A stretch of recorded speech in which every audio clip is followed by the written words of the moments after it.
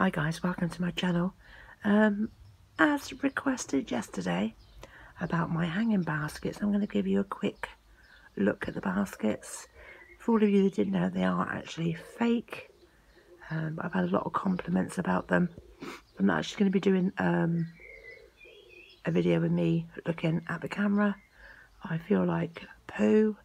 I think I've got a head cold and yeah, I just feel absolutely awful and this afternoon I'm going bed hunting. So anyway guys this is the baskets that I got you've got the pink carnations you've got roses you've got white carnations.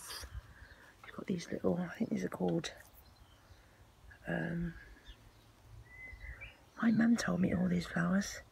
Baby something I think it's called. But yeah these are all fake I got these actually made for me last year.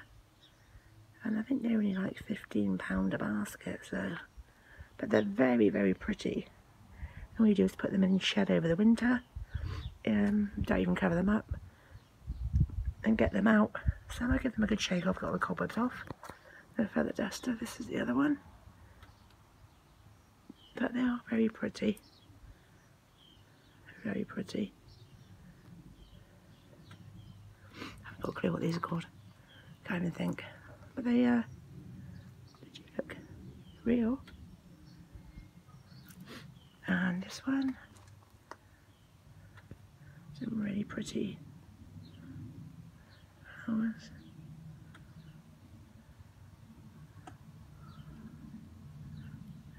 Really well made. These are I've just got the pink and white carnations in the basket. They are beautiful and I do really like them. So yeah, I've had a lot of compliments about them, to be honest. That's what they all look like on the wall. That one. That one. That one and the very end one. I have actually got, um, these are actually real. They're lilies. And um, got quite a few. I only started off having, I think, two of these when I first started. Well, when I first put them in the pot. Excuse my dog barking, guys. So yeah, this was my mum's actually. This is um like a snail shell. It's really, and it's so heavy, really heavy. So I just thought I put some lilies in here. And they are really beautiful when they come out. When they do come out, guys, I'll let you know and I'll um, do a video of them. Anyway, thanks for watching, guys. I'm still in my PJs and it's quarter past one in the afternoon. So I really do need to go and get my bottom into gear and uh, get dressed. Try and make myself look a bit half decent and um, go and look at this bed. Thanks for watching guys, it's a beautiful day here again. Um, I would say it's as warm as it was yesterday. Uh, it's got to be 72 maybe, 73.